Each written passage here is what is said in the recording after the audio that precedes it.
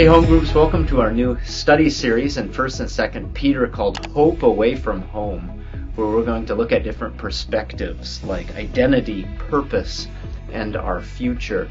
And I want to begin in session 1 with 1st Peter chapter 1 verse 3, where it says according to his great mercy he has caused us to be born again to a living hope. Now we're going to cover in 1 Peter chapter 1 verses 1 through 12.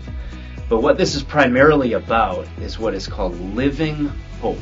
Hope is eager, confident expectation. And believe me, we all put our expectations and our confidence in something. But Pastor Kevin, what on earth is living hope?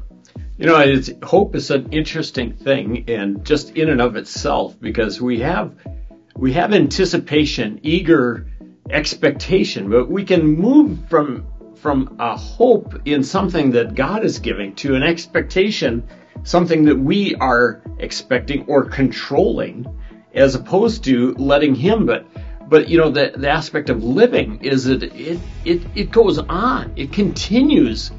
Uh, a moment in time where it begins and you know thinking of Christ coming into our lives that gives us a future we're constantly looking forward to something that's bigger and greater even you know heaven and beyond. Uh, that is uh, shows me that sense of a life that's a part of hope.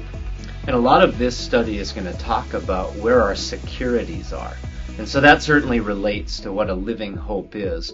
Uh, following, uh, of course, this introductory video is a series of questions that we want you to go through as a team. Of course, read through the entire section of scripture and, and look at its context and then go through the questions and spend time discussing them together. Thanks so much for doing this study.